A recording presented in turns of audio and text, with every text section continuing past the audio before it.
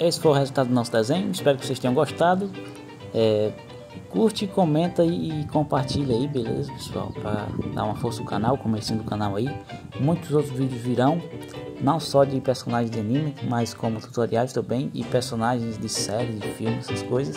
Comenta aí qual personagem vocês querem que eu faça o próximo aí. Eu estarei atendendo a vocês. Beleza, pessoal? Muito obrigado pela presença de vocês aí.